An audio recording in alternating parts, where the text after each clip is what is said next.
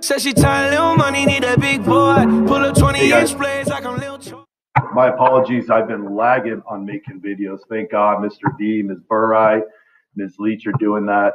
Um, so my apologies. I haven't made one, or maybe you don't even care that I haven't made one. I don't know. But nevertheless, uh, making this video because I want to share uh, just a, a, a, fond memory I had from this school year. And um, it really started back about two, I don't know, a few weeks ago my parents asked me to help them move some stuff out of their storage unit because they're trying to find ways to save money in, the midst of all this uh, COVID uh, stuff that's going on. And so as I was helping them clean out, I was coming across all these old photographs of me just back when I was a kid playing sports. And it just, you know, it just brought back a lot of cool memories I had and uh, stuff I had, a lot of it I'd forgotten about until I saw the picture. I was like, oh, yeah, that's right, you know. And, and uh, so maybe a week or so after that, I went back to our um, the video I made. I put on YouTube. It was uh, it's like a, a, bunch of photos, collage uh, capturing the school year, and I um, and I started going through Twitter, kind of looking at all our the photographs from this school year. And there's something digital photos just don't really do it for me. I like to have a physical uh, photograph to trigger those memories, that things I don't want to forget. So I went to Twitter and I printed out a couple pictures that I'm going to keep in my office. And the first one being um, our boys basketball team. I felt like there, there was just something so magical about this team. Um, just such great young men that just represented our school so well, and just really phenomenal student athletes.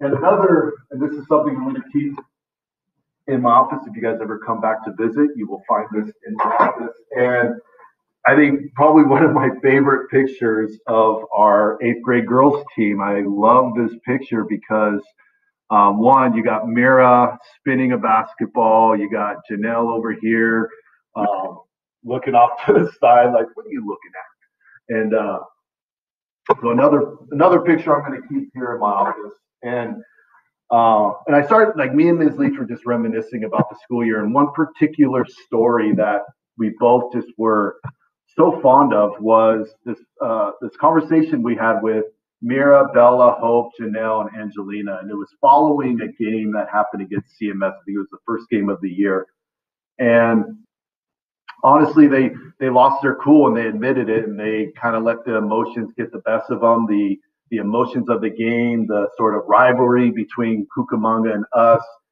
and and I told them, that, you know, it, it, it was disappointing because we we really were expecting more out of them that they would represent our school in a more positive light and really the conversation was just so inspiring because the girls all owned it they um, they realized that they need to practice integrity sportsmanship and um, and really owning the fact that they are representing our school and wanting our school to look good. So we just you know and then like a few maybe a few weeks later or a week later something they played rancho cucamonga middle school and they lost.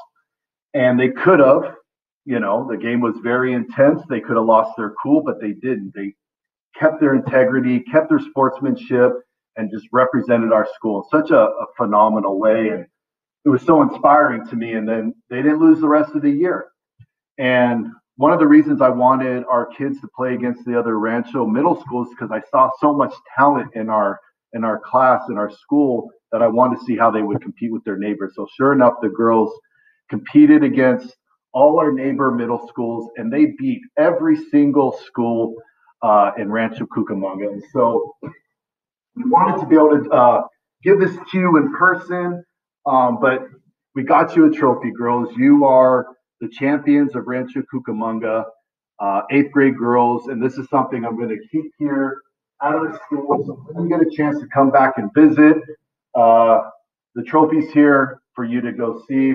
Obviously, we would have loved to uh, present that to you in person, but um, I just want to give a shout out to our girls and boys basketball teams. But our girls, Rancho Cucamonga champs, Mira, Bella, Hope, Janelle, Angelina, Winter, and Deasia, you all deserve uh, to be celebrated and really making yourself proud, making our school proud. So that's just one memory I have from this previous school year. I refuse to let COVID define our school year. This is something I'm going to hold on to. And again, those pictures are going to be little reminders of how amazing the class of 2020 is. So I hope that's a story you like, and uh, I will talk to you all soon. Lord,